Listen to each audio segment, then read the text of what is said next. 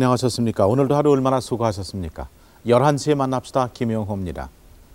오늘은 원로 성직자 한 분을 모시고 말씀을 나눠보겠습니다. 너무나 잘 아시는 한 분이십니다. 경동교회 당회장님이시고 그리고 한국 크리스천 아카데미의 원장으로 계신 강원영 목사님을 모셨습니다. 어서 오십시오.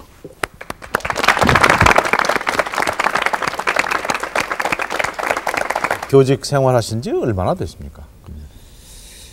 제 교직 생활이라는 것은 무엇 교직 생활이라고 하느냐에 따라서 다른데요. 네. 제가 15살에 예수를 믿기 시작하고 네. 예수 믿은 그 해부터 설교를 했으니까 아하. 그것을 교직 생활이라고 하면 이제 한 50년 50년. 고요. 네. 목사가 된 것을 기준으로 한다면 37년이고 네. 그렇습니다. 그러셨군요. 요즘은 주로 어떤 활동을 하십니까? 요즘은 주로 조금 바쁩니다. 그저 금년 더구나 85년은 네. 제가 지금 제일 처음 참 창립하고 지금 오는 크리스천 아카데미가 네. 금년 5월 7일이 20주년이고 네. 또 제가 또 제일 첫 주일부터 시작된 우리 경동교회가 금년 12월 첫 주일이 40주년이고 네. 또 지금 제가 대표 회장으로 있는 한국 기독교가 네. 금년에 100주년 네. 금년으로서 행사가 네. 끝나고 경동교회가 40주년 되는군요. 예 아유, 엊그저께 시작한 것 같았는데. 그렇죠 해방 직후에 시작하셨죠? 그렇죠 해방되던 해 해죠 네. 예. 네. 목사님 고향은 어디십니까? 함경남도입니다. 함경남도 네. 어디실까요? 그 제가 살던 곳은 그 군으로서는 이원군인데 네. 이원군이라고 하는 말보다는 그 우리 고향에서 온 사람은 그 다복골이라고 다복골. 하는데 그 다복골이라는 말은 네. 제일 가난한 그 화전민들이 어. 사는 빈농 가운데 빈농인 아. 그런 마을에서 나서 자랐습니다. 네. 형제가는 몇 분이나 되셨습니까? 형제는 제 동생이 남자 동생 둘, 네. 위로 누님, 아래로 우리 동생 하나 그런데 제 적은 동생은 6.25때 네. 바로 우리 교회에서 총에 맞아 죽었습니다. 그러고 보니까 지금 의사를 하는 동생 하나 네. 하고 우리 누님은 이북에서 넘어 못 왔고 네. 누이 동생하고 그렇겠습니다. 네. 물론 소식은 전혀 들으실 길이 없으시죠. 전 전에서 소식. 부모님은 부모님도 8.15 해방 후 9월에 넘어오기 전에 배웠고서는 네. 아마 세상 떠났겠죠. 뭐. 그러셨을 겁니다. 네. 그 학교 공부는 어디서 하셨습니까? 그래서 제 학교 공부는 국민학교는 제 고향에서 네. 그 시골에 살았으니까 네. 아, 걸어서 20리 다니는 아. 곳이니까 하루에 40리 걸었고 네. 중학교는 만주에 가서 했고 네. 그다음에 전문학교 일본에서 하고 그러고 그다음에 신학교와 사회학은 미국에 가서 하고 네. 그러니까 뭐 여기저기 다니면서 여러 군데서 하긴 했습니다. 네. 학위는 어디서 받으셨어요? 만 에, 카나다 마니토바 아. 대학에서 네. 받았습니다. 그 받으신 게 철학 박사신가 신학 박사? 신학 박사. 신학 박사. 예. 예. 지금 저 사진은 언제 사진인지 혹시 기억하십니까? 예, 저것이 제가 중학교 때 건데요. 네. 저 건물이 뭐냐 하게 되면 그 만주 용정에 있는 용강동 저기 교회인데 네. 저게 내가 중학교 2학년 때 세운 교회입니다. 아. 예, 그래가지고 중학교 2학년 때 저거 내가 나가서 세우고 내가 지은 집입니다, 저게. 하하. 그런데 이만저 그 중공에 갔다가 온 사람 들으니까요. 네. 저 교회가 지금 굉장히 크게 서서 지금도 그냥 용강동 교회로 있다고 그럽니다. 아, 그렇습니다. 예. 참그 다행입니다. 예. 그럼 벌써 그게 50여 년 그렇죠. 되죠. 예. 15세 아닙니다. 제, 저, 그건 그 중학교 때니까 네. 열여덟 살 때. 18살 때. 열여덟 살때 제가 세운 겁니다. 네. 만주. 저 사진은 언제? 저는 그냥 나도 잘 모르겠는데, 그 역시 네. 그 만주, 만주 시절이 아닌가 생각드는데요. 그렇죠. 네. 제가 만주 시절은 공부 마치고 네. 만주 저 마창툰이라는 곳에 가서 네. 거기에서 그저그 농촌 일을 하던 때일 거고 이게 아마 중학교 때 겁니다. 그러면 역시 만주입니까? 저, 예, 만주입니다. 예. 중학교 때. 네. 만주에는 어떻게 가셨습니까? 만주는 제가 그저 한마디로 말하면 국민학교를 14살에 나오고 네. 우리 집이 너무 가난해서 공부할 수 없어서 아. 제가 농사 지어 가지고 우리 식구 열 몇 명을 제가 벌어 먹여 살렸어요. 하. 그러다가 뭐 이렇게 일상을 살 길은 없고 네. 그래서 그만 열아덟 살 되던 때에 제가 딱 그 용정까지 가는 여비만 가지고 공부하려고 들어가서 네. 그때 또 나이 들었으니까 뭐 다른 데는 들어갈 수도 없고 네. 그래서 그 만주에 실제는 공부하려고 들어갔습니다. 그래서 들어가서 은진중학교에 들어갔는데 결국에 학교 공부하면서 뭐 아주 지금 요사의 학생들이 그 고학이라는 말을 잘 모르고 있는데 네. 진짜 고학은 제가 했죠. 뭐, 네. 뭐 철저한 고학을 네. 하면서 그러면서 아까 말한 대로 네. 저 시골에다가 야학교를 시작하고 주일학교 시작하고 해서 제가 중학교 졸업하기까지 저런 교회를 다섯 개를 세웠습니다. 하. 그러고 뭐 학생회 회장을 했고 네.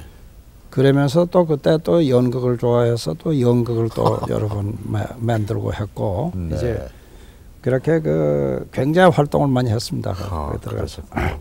근데 목사님 지금 고학 그렇게 말씀하셨는데 네. 그러니까 고학이면 그 쓸고자인가요?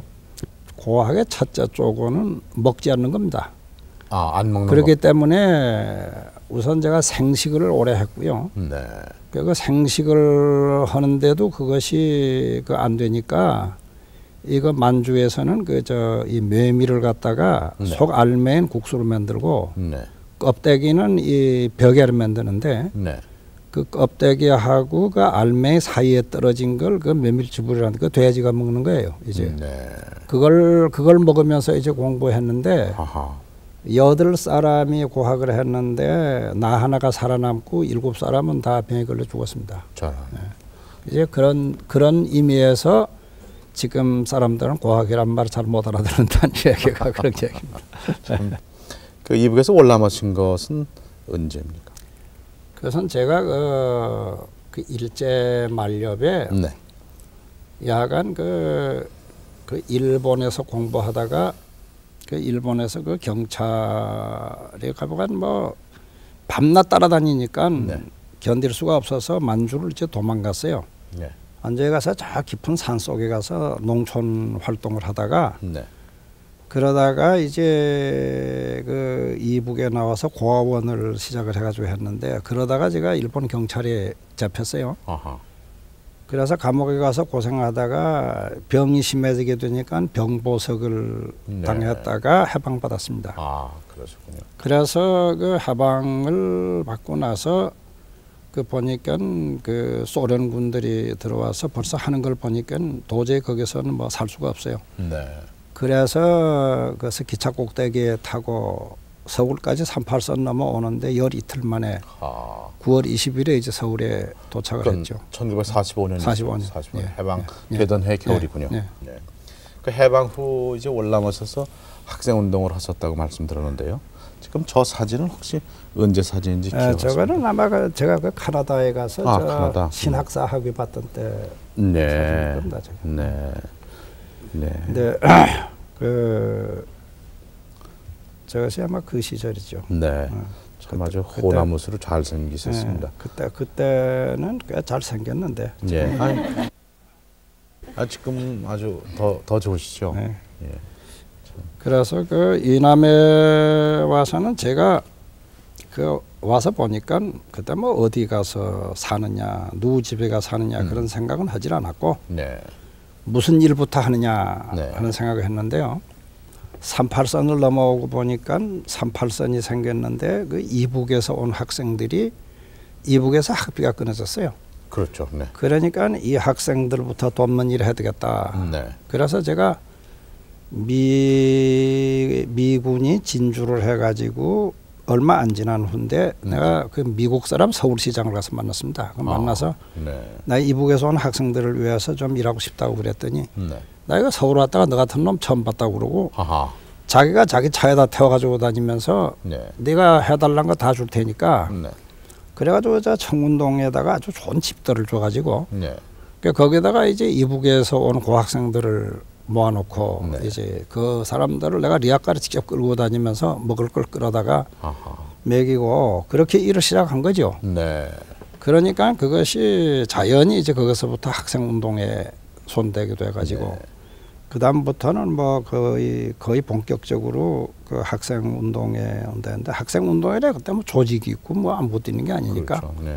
그저 학생 운동이랑 별거 없죠. 내가 가방 하나 들고 돌아다니면 강연하는 거죠. 네. 근데 지금은 이제 나이 먹어서 저 우리 교회 교인들 중에 내가 뭐 그 말도 잘 못합니다만 그 시절에는 웅변이었거든요. 아하. 네. 그래서 또 해방 후고 그래서 학생들이 많이 따랐어요. 그랬죠. 그래서 제가 그 돌아다닌 학교 수가 200한 80 학교 되었을 겁니다. 예.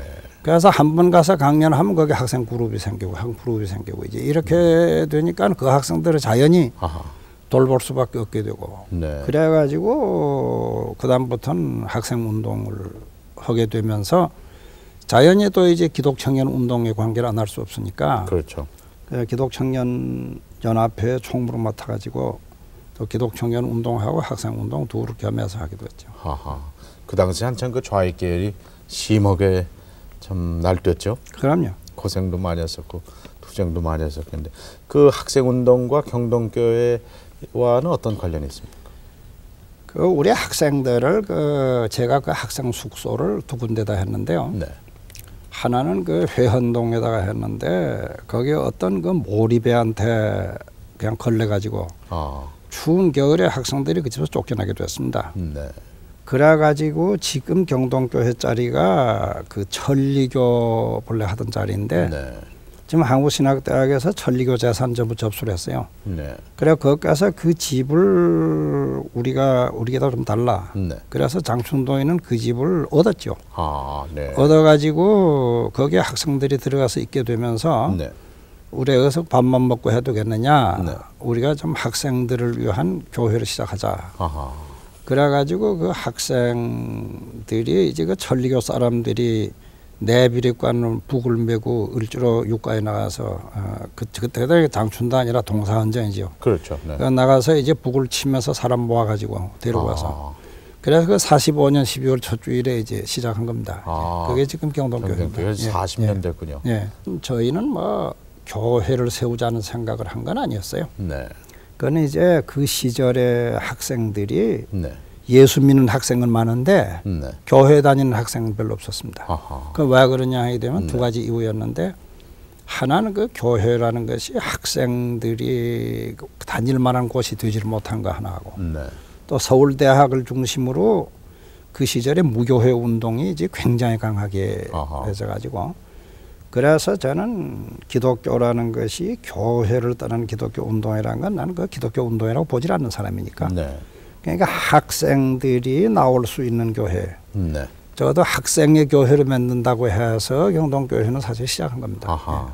그럼 그것이 경동교회 특징이라고 할 수 있을까요? 그 지금까지 특징이죠. 지금까지 그 우리는 그 교회 수가 모자라니까 하나 더 세운다는 생각한 게 아니고 아하. 다만 그렇다고 다른 교회가 잘못됐다 그렇게 네, 생각하는 건 아니고 그렇겠죠. 네.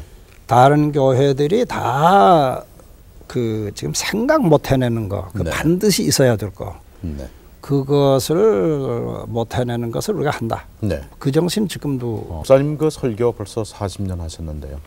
그 설교하시면서 가장 중요하게 다루시는 설교는 어떤 경향의 무슨 내용입니까? 그것이 그 시대 환경에 따라서 달라집니다. 아, 네. 그8.15 해방 이후에서 적어도 그 6.25 이후까지는 네. 어떤 그 하나의 그 젊은 사람들에게 그 비전을 보여주는 거, 네. 희망을 가지는 네. 거, 우리의 앞에 참 이만한 희망이 있다 하는 그 음. 꿈을 가지게 만들어주는 네. 거, 이제 그것이었고, 그 60년대에 와서는 우리 교회라고 하는 것이 자꾸 전도를 해가지고 교회만 부르고 생각하지 네. 이 사회를 위해서 나가서 뭐 하는 걸 거의 생각 못 하니까 네. 그냥 어회가 이 사회 속에 들어가서 사회를 위해서 일하지 않으면 안 된다 하는 그것이 이제 60년대에는 굉장히 강조점이 됐고 네. 그러나 이게 70년대 들어오면서부터 우리 사회가 이게 자꾸 이제 양극화가 되기 시작했거든요. 네. 남과 북으로만 갈라질 뿐이 아니라 이게 완전히 빈부의 격차로서부터 정치적으로도 아주 굉장히 양극화가 되게 되니까 네.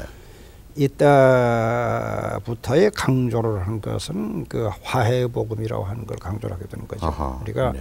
서로가 대립되는 그 대립이 대립에서부터 상호 보완으로 그 나가야 된다고 하는데 네. 요 그래서 어떤 그 편협되지 아니한 네. 그런 그 대결주의가 아닌 그 하나의 홀네스 네. 그 온전성이라고 하는 거 회복하는 거. 그래서 인간도 인간의 이제 전 인간. 그또 개인과 사회라고 하는 것도 둘 가운데 하나가 아니고 하나인 거. 네. 현재와 미래라고 하는 것도 하나가 되는 거. 이제 그런 데다가 초점을 두고 네. 지금은 이제 그 이야기를 하고 있습니다. 알겠습니다. 그 신약이나 구약 성경에 참 초점을 보면은 거기에 그 사랑에 대한 얘기가 나오는데요. 네. 그 예수님께서 가르쳐 주신 진정한 사랑은 무엇이라고 해석하십니까? 사랑에 대한 이야기는 그저 이제 짧게만 사랑에 대한 이야기 기독교 이야기는 전부 사랑 이야기니까 그러게 말씀해요. 창세기 1장부터 예. 그거 하자면 아마 김 선생님도 한 4년 저 강의를 들어야 될게 예. 됐겠는데 요약하면 이겁니다. 네. 요약하면 결국에 하나님의 이름이 성경에 많거든요. 네. 뭐 야- 야외, 엘로힘 뭐 있지만은 제일 정확한 이름은 요한 1서 4장 8절에 나오는 하나님은 곧 아하. 합니다. 예. 그렇기 때문에 예수의 얘기가 모든 하나님의 사랑 얘기인데 그러면 우리가 구원을 얻는다는 거는 하나님의 사랑을 받아들이는 거. 근데 우리는 이게 하나의 어떤 그 태양과 같은 발광체가 아니거든요. 네. 이거는 이제 반사체란 말이에요. 네. 사랑을 받아서 그것을 반사하는 반사체거든요. 네. 그러면 하나님의 사랑을 받았다는 것이 구원 얻었다는 뜻인데 네. 하나님의 사랑을 받았다는 증거는 무엇으로 나타나느냐? 반사하는 것으로 나타난다. 이웃에 대한 사랑으로 나타나는 거다. 아하. 이제 이제 그건데 네. 그 이웃에 대한 사랑이라고 하는 것이 우리가 그 저는 그 아주 이 제 신학에 있어서는 변함이 없는 게 있습니다. 네. 이 사랑에 잘못된 것이 두 가지가 자- 있는데요. 하나는 사랑이라는 것이 이, 이 사회 속에서 나타날 때에는 정의를 통해 가지고 나타나는 것이지 네. 정의를 통하지 않는 사랑은 그건 하나의 로맨티즘의 그 감상주의지 그렇죠. 그건 사랑이 아니에요. 그러니까 반드시 정의의 실현으로 통해 가지고 나타나야 된다 네. 하는 건데 그러나 그 대신에 정의 정의 하는 사람들이 그 정의가 사랑에서 나온 정의가 아니면 부정이 되어버리고 독단이 되어버리고 만다. 아하. 그러니까 이, 이 사랑은 반드시 정의로 이어져야 되고 네. 정의는 반드시 사랑에서 뒷받침받아야 된다. 그렇죠. 이제 그것만이 이제 그 기독교가 이 사회 속에서 할 수 있는 그 선교의 과제다. 네. 이제 그렇게 보게 되면 우리나라 교회로 대체로 볼때 네. 소위 보수파 혹은 타계주의를 말하는 사람들은 정의 없는 사랑을 말을 많이 하고 있고요. 음. 네. 사회 참여만을 밤낮 얘기하는 사람들은 이건 사랑이 없는 정의를 얘기하기 쉽다 그거예요. 그렇죠. 네. 그러니까 그것이 상호 관계 속에서 얘기되지 않으면 안 된다. 아. 그게 제 제일 기본적인 주장입니다. 알겠습니다. 크리스천 아카데미를 설립하신 것은 언제였습니까? 사실은 제가 미국에서 1957년 그 10월 16일에 서울에 왔는데요. 네. 그 부산에서 53년 8월에 떠나서 그 와가지고 그한 1년 이렇게 한국을 쭉한 4년 반 동안 변한 이것을 들여다 볼 때 여기서 기독교가 꼭 해야 될 일이 하나 있다. 네. 이것은 이 교회가 이제는 무슨 이, 이 사회와의 관계 여기서 어떤 그 그 참 영어로 and 네. 교회와 사회라는 그런 그 and가 아니고 네. 그 어쨌든지 이 사회 안에서의 기독교 음흠. 그 사회 안에서의 기독교 사회와 함께 있는 기독교 그러나 이 세상 것은 아닌 거. 네. 예, 참 그건 하나님의 것이 하나님이 사람이 되어서 세상에 네. 와서 사람과 함께 살다가 죽었으니까 네. 우리도 이 사회 속에서 기독교가 사회와 하나가 되어서 그것을 위해서 거기에서 희생을 하고 하는 길이 뭐겠냐. 네. 이것을 바르게 찾지 않으면 안 되겠다 해서 제가 도착한 후 1년 동안을 연구하고 나서 59년도에 네. 시작을 한 겁니다. 아, 네. 59년도에 시작을 해가지고 맨 처음에는 한 30명으로 조직을 해가지고 네. 모일 때마다 한 사람이 100원씩 회비를 내가지고 시작해서 그렇죠. 65년도에 이제 저게 그 저 사- 60, 65년도에 우리가 아카데미 하우스 기공식을 아, 하던 때인데 예. 그러니까 돈을 모아가지고 본격적으로 이제 재단 법인이 형성된 것이 저게 65년 네. 그때였습니다. 네. 그동안 주로 어떤 활동을 하셨 주로 네 가지입니다. 네. 그 하나는 이제 그 우리 사회가 안고 있는 뭐 교회고 사회고 뭐 상관없습니다. 어떤 전체 사회가 안고 있는 네. 그 문제의 뿌리를 찾아내는 거. 그래서 이제 그 그게 조사 연구. 네. 그 뿌리를 찾아내면 그 찾아낸 것을 지도자들끼리 풀어야 될 것은 그 지도급에 있는 사람들 각계 각층의 의견을 달리하는 사람들을 네. 모아놓고 그것을 가지고 대화를 쭉 대화를 통해 가지고 아하. 서로 다른 점에서 공통점을 찾게 만드는 거. 네. 그 다음에는 하나는 실제로 사회 속에 들어가서 실천을 할 사람들을 그것을 이제 수원에다가 사회교육원을 세워놓고 네. 그것을 이제 교육을 시키는 거. 아, 네. 그 다음에는 이 연구 결과와 대화 모임에서 나오는 것을 가지고 출판을 하는 거. 네. 예, 그래서 이 연구 조사와 대화 모임과 교육과 출판 네. 이네 가지 일을 주로 해오고 있습니다. 아하. 예, 그러셨군요. 그 대화라면은 진정한 대화를 뜻하리라고 보는데요. 네. 진정한 대 어떤 것을 말씀? 우리 그 대화에는 몇 가지 종류가 있습니다. 진짜 대화는 저는 책상에 하나도 없습니다. 아하. 완전히 이렇게 해서 돌라 앉는 겁니다. 돌라 네. 앉아서 얘기하는 것이 저거는 그 대화 가운데 소위 그 영어로 말하면 study oriented dialogue 어떤 음. 연구 지향적인 대화에 저런 아하. 자료를 보면서 하는데 저걸 하고 그렇죠. 보통 그 issue oriented 그 네. 문제 중심의 대화는 아무것도 없이 돌라 앉아서 얘기를 하는 겁니다. 네. 예. 네. 그러니까 우리가 이 뭐 그 그 문제를 중심하는 교통 문제하면 교통 문제는 교통 순경에서부터 버스 타는 승객으로서부터 버스 회사 사장부터 교통부 장관부터 그렇죠. 전체가 나와서 얘기를 하는 거죠. 그렇죠. 예. 음, 네. 아까 그 말씀하신 저게 지금 하나의 지금 대화입니다. 저렇게 둘러앉는 겁니다. 저렇게, 네. 예. 저렇게 하는 겁니다. 감사합니다. 네. 그 크리스천 아카데미의 사회 교육 문제를 아까 조금 언급하셨는데 예, 예, 예. 그것은 어떻게 실시하시고 계십니까? 사회 교육에 또 얘기가 복잡한데 저는 그 사회 교육에 대해서 그 두 가지를 얘기를 하고 싶은데요. 네. 우리의 교육은 절대로 그 주입식인 교육이 아닙니다. 네. 예, 네. 우리는 이제 표준이 네. 몇 가지 교육 종류가 있는데 제일 표준되는 것이 사박 오일 프로그램인데 아하. 사박오일의 강의라고 하는 것은 아무리 많아야 세개 이상 안 합니다. 네. 그러나 강의도 강의로 끝내는 그건 안 합니다. 강의를 하고 난 다음에는 각 그룹 토의를 가서 하고 네. 강의자에게 질문을 하고 강의자와 대화를 하고 네. 그 다음에 넘어가 가지고서는 네. 그 참가자들 자신에게다가 문제를 줘서 네. 참가자들이 문제점이 어디 있는 걸 찾아내고 참가자들이 이거 어쩌야 되겠다는 걸 찾아내고 네. 참가자들이 그럼 우리가 이제부터 나가서 이렇게 하자는 과제를 찾아내게 하는 그것이 이제 그 저희가 말하는 교육의 하나의 첫째 특징인데 아하. 저는 그것을 이렇게 그 풀어주는 교육이라 그 네. 레버레이칭 에듀케이션이라 네. 그 얽어매는 교육이 아니다 네. 하는 게고요. 아, 둘째는 그 우리가 지향하는 것은 그 한창 신문에도 무슨 잘 알지도 못하고 문제 많이 나왔습니다만 네. 그 중간 집단이라는 이념 요사이는 민주문화라는 말을 씁니다만은 네. 그이 그렇게 갈라지고 대립된 사회 속에서 우리 아카데미는 우리가 하는 일은 뭐냐 아하. 다리를 놓는 일을 하는 사람들이다. 네. 서로 만나야 될 사람들이 사이에 강물이 있어서 못 만나니까 네. 다리를 놔줘서 만나게 한 일이다. 또 때로는 제가 얘기를 하는 것은 전화선이 고장이 난 것을 수선을 해주는 일을 한다. 네. 그래서 서로 말해야 될 사람들이 서로 그 맥히지 않게 만들어주는 거. 예. 그러니까 우리 전화수선공이라 하는 거다. 아하. 그러니까 음, 결국에 이 양극화를 해소를 시켜가지고 목적은 뭐냐면 인간화.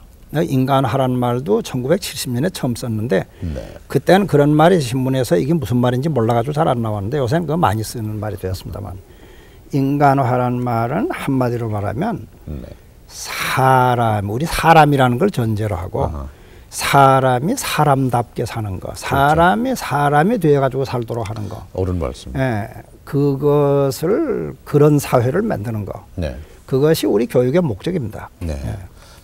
그 크리스천 아카데미가 개원한 지 20주년 되죠. 네.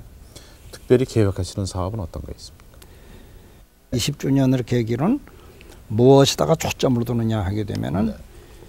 민주문화 공동체 형성 하나 아. 겁니다. 네. 이 이야기는 무슨 말이냐 하게 되면 우리가 이제는 하나의 그 전 국민의 네. 그 동일하는 콘센서스가 있어요. 네. 우리는 민주 사회를 맺는다. 그렇죠. 근데 민주사회라고 하는 게 무슨 헌법이나 고치고 뭐 정치제도가 된다고 해서 되는 게 아니고 네. 사람들이 민주화가 돼야 돼요. 그러자면 이 문화 의식 자체가 그렇죠. 그것이 어떤 그 민주 문화가 형성이 돼야 된다 하는 게 우리 주장입니다. 네. 그러니까 우선 우리 자체의 이 문화 풍토가 네. 어떤 그 민주 문화가 형성돼져야 네. 앞으로 우리 사회가 진정한 공동체가 되겠다 하는 데다가 앞으로의 모든 프로그램을 거기다 이제 초점을 두게 될 겁니다. 알겠습니다. 네. 지금 저 사진은 어떤 장면인가요? 에, 저거는 아마 제가 모르겠는데 67년도에 그 서독의 루프게 대통령이 그 왔을 때 네. 그 루프게 대통령이 그때 그 우리 아카데미를 공식 방문으로 왔어요. 네. 그때 사진이라고 생각하고 있습니다. 아, 네, 그렇죠. 루브케 대통령 개인적으로 친서가 계십니까? 예, 개인적으로 제가 알고요. 네. 그, 그 서독의 지금 대통령 그 폰 바이제카는 네. 우리 아카데미 모임에 두 번 초청받아서 와서 우리 아카데미 모임에 참석했던 아, 사람입니다. 그러셨군요. 예. 목사님께서는 그간 공직 생활도 많이 하셨는데요. 주로 그 기독교 교회 협의회를 비롯해서 국내 국제적으로 많은 활동을 하셨는데 어떤 일을 하셨습니까? 세상에 너무 그, 그 성경에 예수님께서 그 마르다에게다가 내가 그 많은 일로 염려를 하나 좋은 일은 한두 가지로 족하다. 그 이야기가 늘, 늘 나를 책망하는 것 같은 생각인데 저는 그 너무 여러 가지를 벌려놓아서 하나도 제대로 못한 것 같은데요. 예. 국제적으로만 하더라도 뭐 잘 아는 대로 국제적으로 기독교와 관계된 기관에 제가 관계를 안 가져본 기관은 거의 하나도 없을 정도입니다. 네. 그래서 세계 기도 학생 연맹에서부터 네. 아시아 교회 협의회로부터 세계 아카데미 연합회로부터 세계 교회 협의회로부터 뭐 이제 각종 그 모임에 네.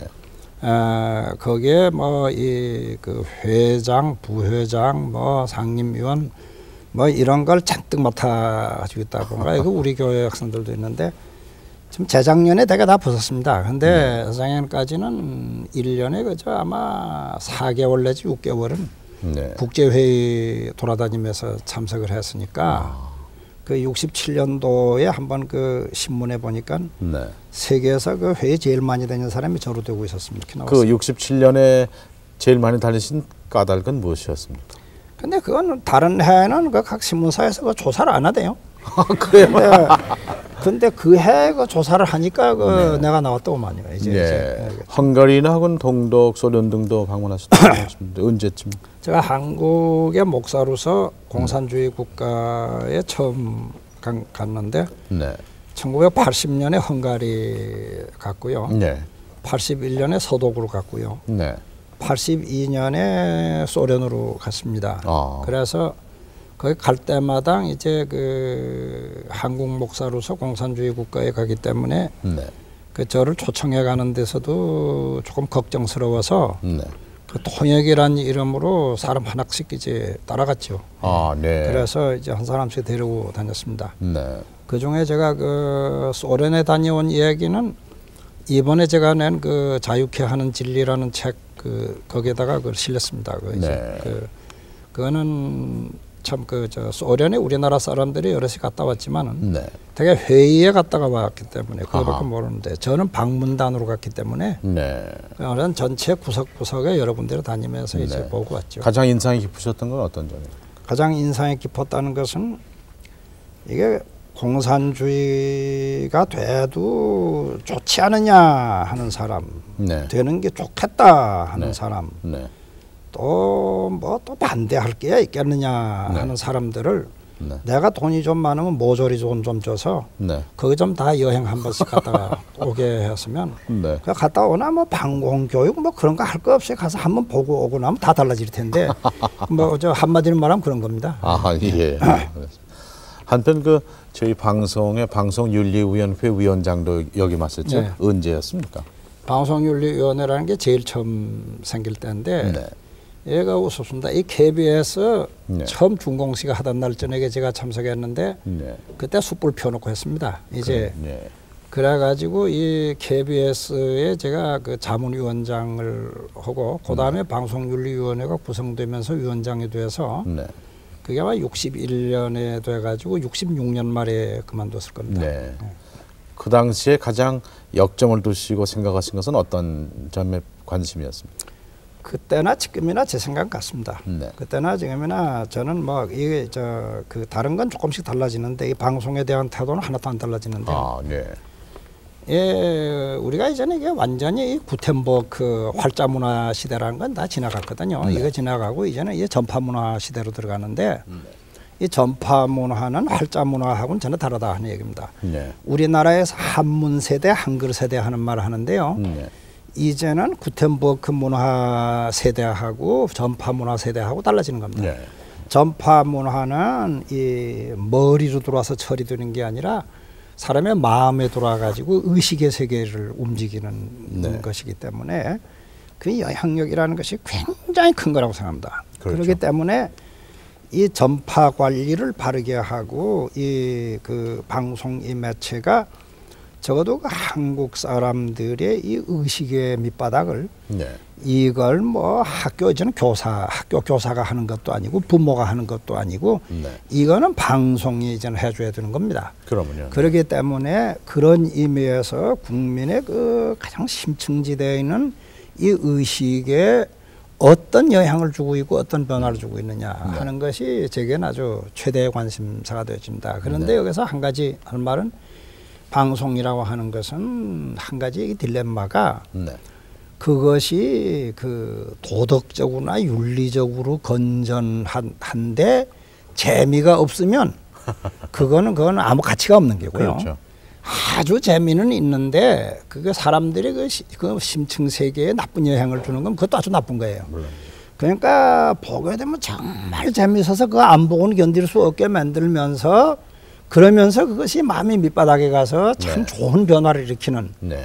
그런 방송이 되어야 되겠다. 네. 이제 하는 생각은 지금 20몇 년 동안 변함이 없는데 네. 그내 생각하고는 거리가 너무 멀어서 그, 그 이상 얘기하다가 또 여기서 커트가 될 테니까 그만두죠. 뭐. 책은 그동안 많이 빌어졌죠? 몇 권이나 그 제가 책이라 얘기를 하면 좀 부끄럽습니다. 왜 그러냐면 제가 뭐 책을 꼭 쓰고 싶어서 쓴 책은 하나도 없고요. 네. 제일 처음 제가 책을 쓴 것이 1949년에 네. 그러니까 지금부터 36년 전에 음. 그새 시대의 건설자라고 하는 책을 그 대학생들을 위해서 썼습니다. 그건 네. 이제 참 그 비전을 보여주는 책인데 그것이 7개월 만에 6.25 사변이 나서 다 타버렸는데 그 7개월 동안에 6판이 나갔습니다. 아, 예. 그러고 그 이후에 뭐 강연한 거 글 쓴 걸 모아가지고 나온 거는 아마 정확한 수는 모르지만은 한 3, 40권 되지 않겠는가 생각하는데 네. 그러나 제가 그걸 그 활자라는 건 자기가 들여다봐도 이게 일생에 없어 앉는 건데 네. 저건 정말 없애야 버리고 싶은데 도무지 어떻게 없애야 버릴 길이 없는 그런 것들이 많아서요. 네. 그래서 제가 그 중에서 그래도 요건 남겨놔도 괜찮겠다 하는 걸 골라서 지금 12권을 묶어놨습니다. 네. 네, 그리고 금년에 이제 세 권이 나올 겁니다. 네. 앞으로 세 권이 나오겠군요. 예, 예. 기대합니다. 참 댁에서 이 방송 보시는 분 아마 목사님하고 직접 얘기하시고 싶은 거 많죠. 질문하시고 싶은 사항도 있으시겠고요. 12시가 거의 다 돼가는데요. 여기 나오신 젊은 학생들 몇 말씀 말씀 나눌 기회 가져보죠. 어느 분이 물어보시겠어요? 제가 목사님께 하나. 질문해드리는데요. 모든 사람들이 각자 자기의 삶에 충실하고자 노력하고 있습니다만은 목사님께서 생각하시는 인간답게 사는 삶이란 무엇인지요? 첫째로 말이죠. 그 이 현대 사람들이 걸린 아주 그 제일 무서운 병이 그 육체적으로는 암이지만 말이죠. 아주 무서운 병이 산모병이에요. 산모병. 뭐냐면은 무의미 무관심, 무기력 이건데요. 음, 예. 그, 그 무의미라는 것은 그 meaningless. 내가 하루하루 사는데 이 보람을 느끼는 거. 어? 이한 시간이라는 게 내 생명이에요. 이게 뭐 시간은 황금이다 하는 말처럼 잘못된 거 없습니다. 지금 벌써 여러분하고 나하고 앉아 있는 요 한 시간은 이제는 아주 영겁의 과거로 흘러가고 다시 돌아오지 않는 거예요. 그러면 요 한 시간 한 시간을 세상에 꼭 내가 한 번 태어나서 한 번 살다 가는데 요 한 시간 한 시간이 무슨 의미를 가진 생활이냐 하는 데 있어서 참 보람을 느끼는 거. 네. 음, 내가 생활에 보람을 느끼는 거. 그것이 이제 첫째로 그 내가 말하는 의미라고 하는 건데 그 어. 보람을 느끼지 못하면 무관심해져요. 네. 그뭐 다른 데 대해서 가령 그, 그 우리 나라 문제, 사람들 문제, 무슨 다른 문제, 그 별로 관심 없어지게 되면. 그럼 그 다음에는 뭐 의욕이 없어지게 되고, 그 힘이 없어, 무기력해져요. 네. 그러니까 이게 지금 산무병이거든요. 아, 그러면 여기에서 이 병이 구체적으로 무엇으로 나타나느냐 하게 되면 일종의 그, 그, 그 실존적인 좌절, existential frustration으로 나타난단 네. 말이에요. 그러니까 이 병을 극복하는 거예요. 음. 그러니까 이제 나는 이렇게 생각합니다. 제가 아주 간단하게 한마디로 말하면 무엇이 보람 있는 삶이냐. 나는 이 전 우주 안에, 전 우주 안에 제일 가치 있는 거 하나만 딱 골라라. 그게 뭐냐. 전 우주를 주고도 바꿀 수 없는 하나. 그 무한 가치. 그건 나다. 그야. 어, 뭐, 이- 이거 유일의 존재예요. 유일의 존재인 동생, 이건 무한 가치예요. 그런데 이거 써야 돼. 쓰지 않으면 이거, 이건 어차피 가는 거야. 가고 낡아지는 건데, 이거 골동품처럼 한 자리에 두면 가만히 있는 게 아니거든. 이걸 쓰자면 제일 가치 있는 데다가 써야 되지 않겠어요? 그 제일 가치 있는 게 뭐냐? 그게 바로, 바로 당신이라고 말이야. 온 우주에 있어서 과학이나는 과학이나가 전 우주에 있어서 제일 가치 있는 거야. 그러면 나는 이 제일 가치 있는 게 뭐냐? 사람이다 그거야.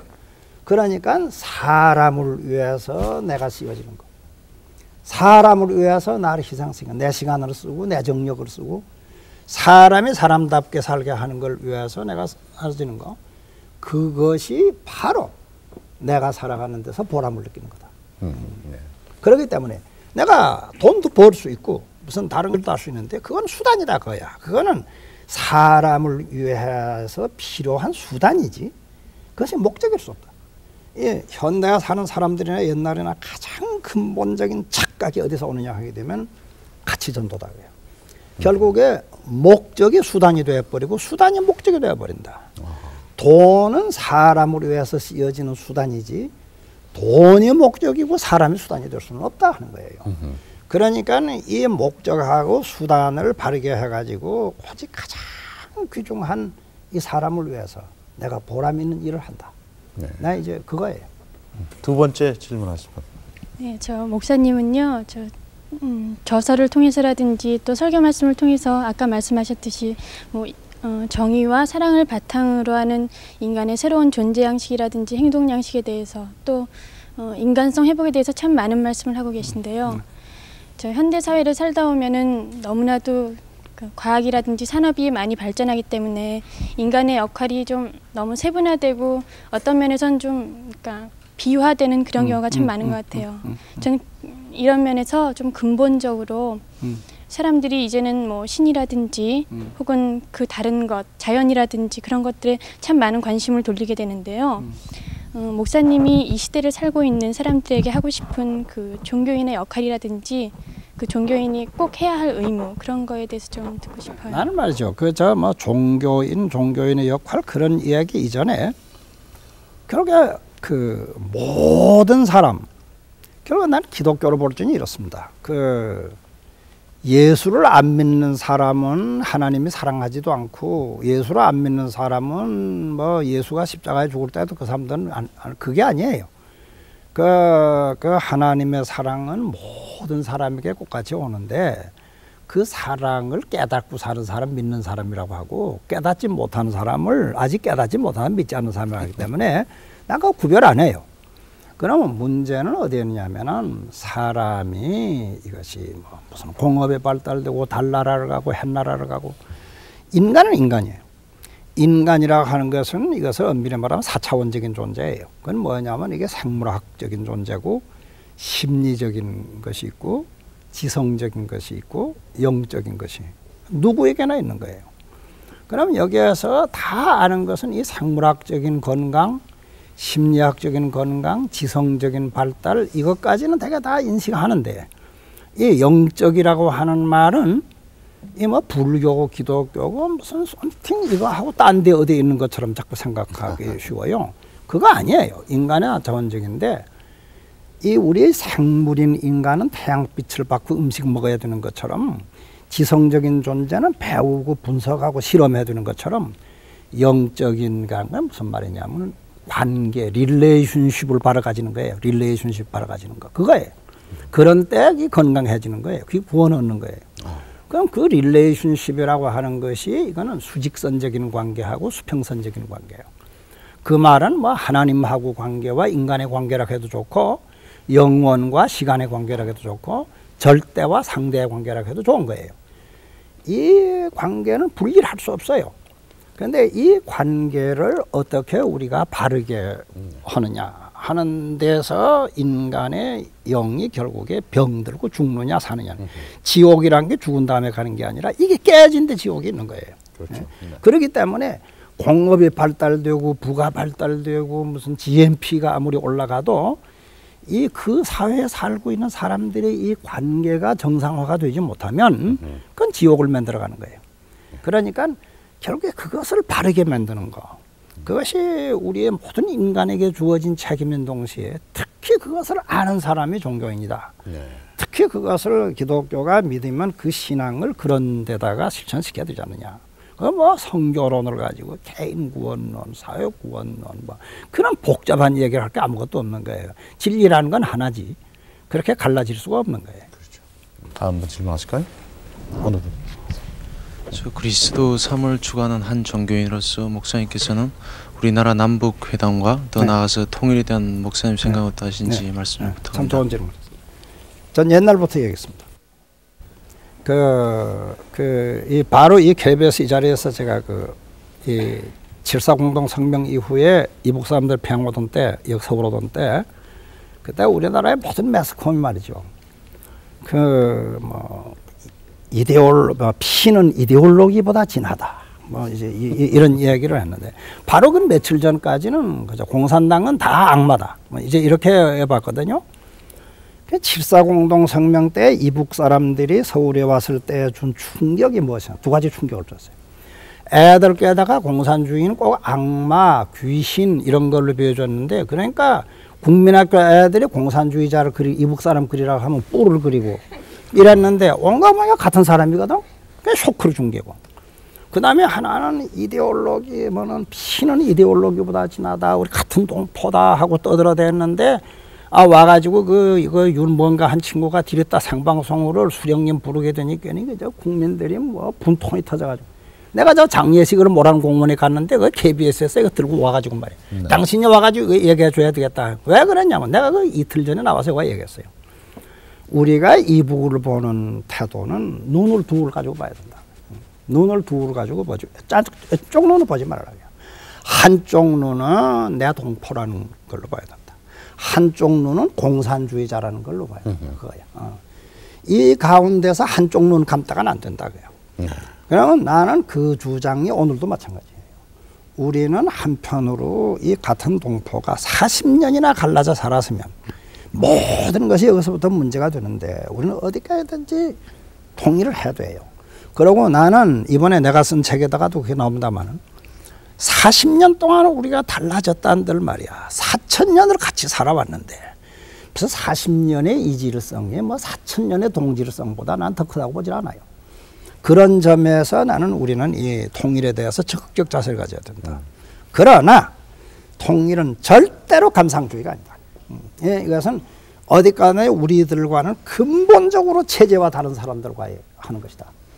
가령 이 통일이라는 것이 그렇게 쉽게 되는 것도 아니지만은 그럼 남북으로 무조건 통일했다고 하자.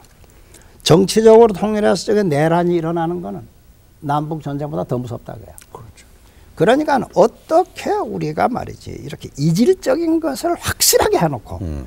그 이질성을 확실하게 하고 그 이질성을 극복을 하는 길이 뭐냐 하는 것은 전혀 감상주의적으로 생각하지 말고 그거는 아주 사회과학적으로 면밀하게 검토를 해서 그래서 그것을 극복을 하는 이걸 하면서 해야지.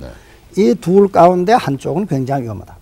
그런 의미에서 나는 통일이라고 하는 것은 우리는 이런 의미에서 적극적인 자세를 가지고 밀고 나가야 되되 조급하게 생각하든지 감상적으로 생각하든지 그 안일하게 생각하든지 그래 가지고 오히려 아주 그 반대 그것을 가져와서는 안 된다. 뭐 그게 내, 내 주장입니다. 야, 예, 알겠습니다. 어, 6.25나 일제 시대를 경험하지 못한 저희 젊은 세대로서는 그 나라 사랑의 그 의미에 대해서 깊이 느낄 수 있는 기회가 전혀 없었던 것 같습니다. 목사님께서 생각하시는 그 나라 사랑에 대한 의미와 내용에 대해서 한 말씀 부탁드립니다. 그 저는 소위 그 뭐 애국심 뭐 이런 얘기 하는데 우리가 두 가지를 경계해야 됩니다. 하나는 내가 나라를 사랑한다는 말은 그 우리나라만이 하는 그 우리 뭐 우리의 문화가 제일이고 우리 전통이 제일이고 우리 민족이 제일이고 뭐 그 여건 다 틀렸고 하는 그런 폐쇄적인 쇼비니즘 그것은 전혀 그 나라를 사랑하는 태도가 아니다. 네. 그렇다고 하여서 그 뭐 우리 민족이란 어떻게 하는 그런 그 열등감이라든지 그러질 않으면 뭐 이제는 세계가 다 하나인데 그뭐 무슨 민족이라고 구체할 게 뭐 있느냐 하는 그런 코스모폴리타니즘 이제 이 두 가지는 대단히 잘못된 것이다. 네. 그렇기 때문에 역시 여기에서 제가 늘 이야기를 한 건 문화나 모든 면에 이 보편성과 특수성이라는 것을 봐야 된다. 우리는 어떻게 되느냐? 적어도 우리는 한국이라는 것이 뭐 한국 사람만 잘 사는 세계가 되어서는 안 된다. 그렇죠. 전 세계가 이젠 지구촌이니까 전 세계 인류가 평화스럽게 살아야 되고 인류의 문화가 발달돼야 되는데 그러자면 그 인류라는 건 뭐냐고요? 그건 막연한 거 아니다고요. 이 지구 위에 있는 여러 종류의 민족이 가지고 있는 서로 좋은 것이 합해서 만들어가는 게 세계다 그요. 그러니까 한국 사람은 한국 사람에게 주어진 특수한 것이 있다. 그것을 우리가 그 적극적인 것을 살려서 그것을 키워서 그래서 아주 그 모범적인 국가 공동체가 됨으로써 이 세계 공동체에 가장 여기에서 우리들만이 할 수 있는 이 특수한 역할을 최대한으로 해나가는 것. 이제 그것이 인류를 위하는 길이고 나라를 위하는 길이다. 그것이 내가 말하는 비전이에요. 이제 이런 점에서 볼 때 저는 이제 시간이 없으니까 생각하지만 내가 뭐 계속해서 한 얘기 있어요. 나는 나는 이제 그 이 세계에서요. 그 아놀드의 토인비만큼 위대한 역사가가 나본 일이 없는데 그 역사가가 한 말에 틀린 게 꼭 하나 있어요. 이 문명이라고 하는 것은 도전과 응답 이 균형에 있어서만 문명은 발달된다 했는데 도전이 너무 센 데서도 그 나라는 망하고 도전이 없는 데서도 그건 문명이 발달이 안 된다. 그런데 이 법칙이 맞지 않는 민족이 둘 있어요. 한국 사람하고 이스라엘 민족입니다. 아, 이거는 이 도전이라는 건 세계에 이렇게 많은 도전을 받은 민족이 없어요. 그렇죠. 네, 이렇게 많은 도전 받은 민족이 없으면서도 지금까지 단일 민족과 단일 언어와 단일 문화를 지금 가지고 여기에서 이, 이 38선이 갈라지고 자원이 하나도 없고 기술 하나 안 가르쳐 주고 그런 나라에서 경제적으로도 이만큼 발돋움을 해 오는데 가지고 있는 이 한국 사람에게 주어진 이 저력이라고 하는 거. 이것은 우리가 그 참으로 어떤 그 어, 지나치게 내 쇼비니즘 같으라는 게 아니라 이것은 다른 나라에는 다른 나라에 좋은 점이 있느냐 하게 되면 우리에게는 우리에게 주어진 특수한 게 있다. 예. 이것을 우리가 발견을 해가지고 이것을 키우자가야 이것을 키워가지고 여기에서 이 민족이 정말 그 이제 21세기를 향해서는 그래도 전 세계에서 가장 그 모범적인 모든 것이 그런 것을 보여주는 나라가 되고 잘 사는 나라가 되고 그럼으로써 지구촌의 평화에 한마디만 더 얘기해보죠. 세상에 나쁜 거란 건 나쁜 건 다 경험해 본 게 한국 사람이거든. 그렇죠. 예? 이거는 나쁜 건 다 경험해 봤어. 어려운 뭐 거다 겪고. 심지어 뭐 공산주의, 자본주의, 음. 무슨 저 저 제국주의 뭐 그다음에 뭐 왕권주의 뭐 다 경험한 한, 한 사람들이에요. 그러고 세계에서 말이죠. 공산주의가 일단 점령했다가 물러간 곳은 지구에 이거 하나밖에 없어요. 예. 그러니까 이런 하나의 그 모든 나쁜 걸 다 경험했기 때문에 그걸 또 다 극복하고 일어섰기 때문에 나는 이 민족의 에너지를 좀 아끼자고요. 그 쓸데없는 일에다가 좀 소모하지 말자. 네. 그래서 그것을 그 비건설적이고 그런 데다가 자꾸 소모를 새기지 말고 좀 적극적이고 능동적이고 미래지향적이고 그런 데다가 이 에너지를 개발을 해서 한번 살리는 그것이 곧 난 애국이다. 아. 그 애국은 나를 사랑하는 길이고 네. 내 민족을 사랑하는 길이고 인류를 사랑하는 길이다. 네. 뭐 내가 말하는 거는 이제 그런 거예요. 네. 오늘 참 강 목사님 모시고 이렇게 말씀드리니까 속이 좀 시원하군요. 아주 후련한 그런 감인데 시간 가는 게 너무나 아까운데 이 시간을 붙드는 방법은 없습니까? 그거는 김 선생님도 없고 나도 없고 그럼 강 목사님 여생에 뭐 여생이라 말씀드리 너무 일르지만은 꼭 이루고 싶으신 건 어떤 것입니까? 제가 그, 그좀 오래 살고 싶어요. 음, 근데 다만 한 가지는 그저 구질구질하게 살고 싶진 않아요. 네. 근데 그 와, 오래 살고 싶으냐 하게 되면은 우리가 이제 15년을 지나면 2000년이 아닙니까? 네. 그런데 앞으로 이제 꼭 2000년이란 해가 중요한 게 아닙니다. 앞으로 오는 15년, 20년 사이에 네. 지금 우리가 생각하는 이 세상하고는 말이죠. 아주 거의 상상할 수 없는 새 세상에 이제 우리가 오고 있습니다. 이- 이거 뭐 이미 시작되고 있어요. 왜 지금 모르고 있어요. 이 저 비행기 타게 되면 아주 째뜨기 안에 앉게 되면 꼭 같은 자리에 있는 것 같거든요. 그렇지만 네. 그 사이에 벌써부터 몇백 마일이 달아나는 거예요. 그렇죠. 네.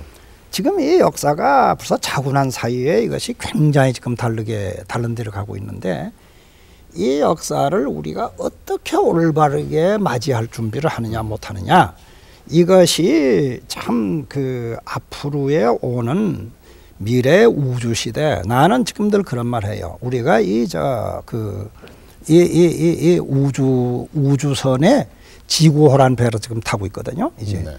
이 지구호라는 배 속에서 이 단순하게 이 지구의 시대에서 우주의 시대를 바라보면서 우리 앞에 활짝 열린 이 거대한 역사의 도전 앞에서 나는 그 우리 민족에게 주어진 이것은 참 어마어마하게 큰 것이고 좋게 말하면 교회 큰 것인데 이것이 제가 적어도 보는 한 이것을 지금 바르게 들여다보고 그것을 바르게 준비를 하고 그것을 위해서 이제 말대로 에너지를 바르게 한 데다가 모이는 이것이 지금 제대로 이루어지지 않고 있다. 내가 가보면 이건 내가 가보면 내가 숨이 붙어 있는 한 죽고 나서나 해야 되겠다. 그러자면 이거 뭐 1년, 2년 가지고는 좀 안 되겠으니까 네. 뭐 오람 갈 수밖에 없죠. 그러나 가능하면 살아서 어쨌든 그런 일을 좀 저, 정말 해서 그참그 우리 앞에 열려진 이 새 역사는 우리가 뒤로 따라가는 역사가 되지 말아야 되겠다. 그 성경에 먼저 된 자가 나중되고 나중된 자가 먼저 된다 하는 이야기는 오늘이 그대로 맞는 얘기예요. 지금까지 가던 길대로 가면 이건 망하는 거 떨어지는 거예요. 뭐 핵전쟁으로 다 망하는 거예요. 그러면 이제는 이것이 180도로 돌아서는 역사다. 그야. 아하. 이 돌아서는 역사에는 우리가 좀 선두에 서자. 근데 내가 보기에 안타까운 거는 남이 왜 가다가 넘어진 자리를 자꾸 차를 몰고 가느냐 그 얘기야. 네. 그러니까 먼저 가던 차가 적어도 넘어진 자리는 우리 가지 말자 그거야. 네. 그러니까 그걸 피해 가든지 그러자면 좀 반대쪽으로 길을 찾자. 이것이 참 기회에 있는 대로 글을 쓰고 말하고 떠드는데 네. 아직도 그건 참 모기 소리처럼 너무 약해서 이 목소리를 좀 키우기 위해서 우리 여기 앉아 있는 이런 이 젊은 사람들하고도 좀 자주 만나 얘기를 해야 되겠고 그러자면 좀 건강하고 좀 몇해 더 살아야 되겠다. 그런 생각. 참 목사님의 더 활약하시는 거 그리고 더 건설적인 아, 사회 발전에 큰 공헌이 있으시길 비록 맞지 않습니다. 장시간 또 밤늦은 시간 나와주신 것을 다시 한번 감사드립니다. 네, 고맙습니다. 고맙습니다. 오늘은 우리나라의 교직자로서 원로 목사이신 40년 동안의 교직 생활하시며 경동교회 당회장이시고 그리고 한국 크리스천 아카데미 원장을 지내시고 계신 강원영 목사님을 모시고 말씀을 나눠봤습니다. 11시에 만납시다. 오늘 순서를 마치겠습니다. 안녕히 주무십시오.